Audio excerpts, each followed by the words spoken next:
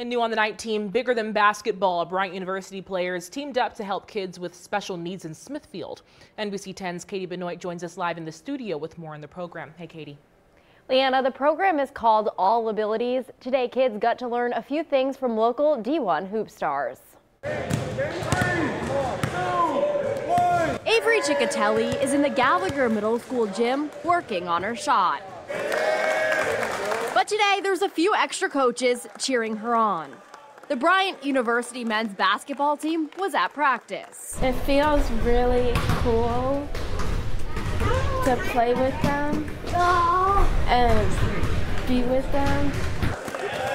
The feeling is mutual.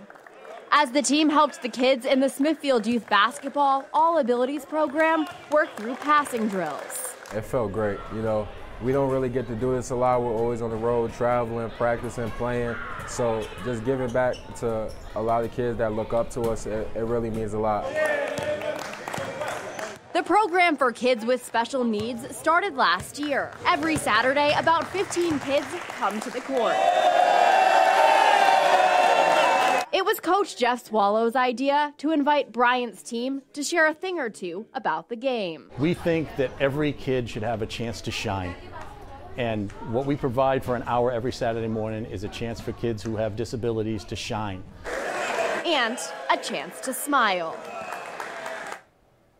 I'm told there are a few more spots available in the program. We'll have some more information on turnto10.com. Live in the studio, Katie Benoit, NBC 10 News.